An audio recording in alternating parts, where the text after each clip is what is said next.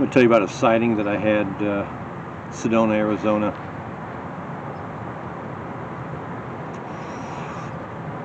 I had just come back from a week-long conference, the first International UFO Congress put on by Colonel Bob Dean and uh, Wendelle Stevens, and I had left there with a couple of friends, and we had gone to Sedona and had a, had a two or three day visit there. There's a place called Boynton Canyon in Sedona, and this would have been in 1991.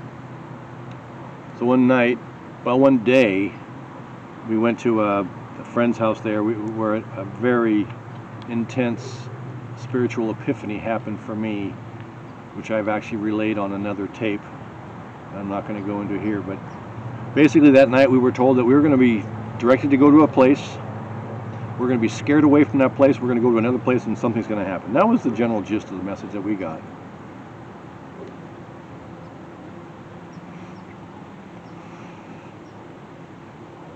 We drive to Boynton Canyon. It's at night, clear night, crystal clear.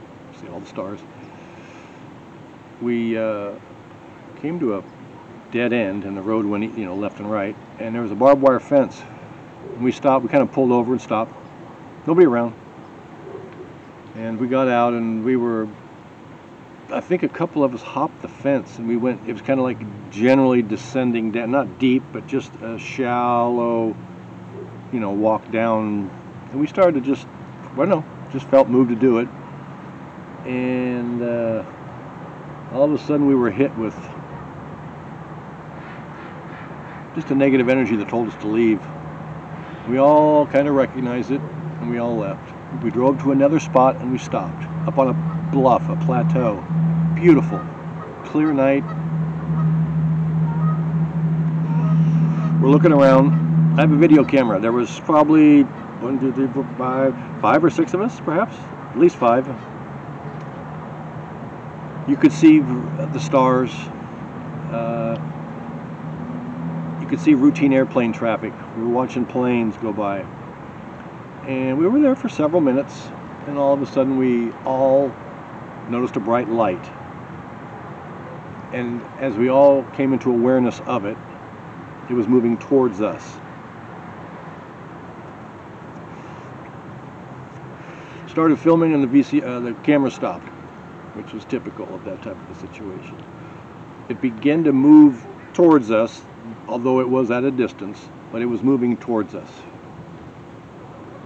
As we're all looking at it in our own minds, voicing, hey, what is that? Hey, do you see that? Hey, take a look at that.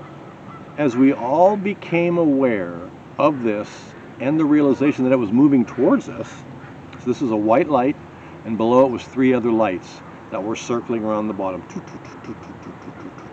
You know, three stationary lights, but they were just pulsing on and off. Okay.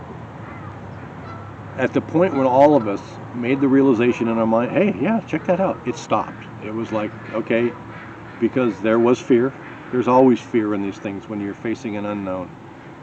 You, you, your, your mind will struggle to grasp what the reality is. That, that is just common you want to rationalize and put into some perspective. What is that? Is that an airplane? Is that a balloon? What is that? At the time we all made the connection, uh, it stopped. At that point, uh, it hovered, but was making any sound. It was close enough that we couldn't hear anything, you know. And uh, then it slowly began to, along the same line that it came in, it just receded out that same pathway, that same line. And uh, it's a huge Great Dane with this woman right in front of me here. This Dane is huge. Anyway, um, so that was a very, uh, one just one of many that I've had uh, as far as sightings go with multiple witnesses. Um, and that was, again, was in Sedona in 91.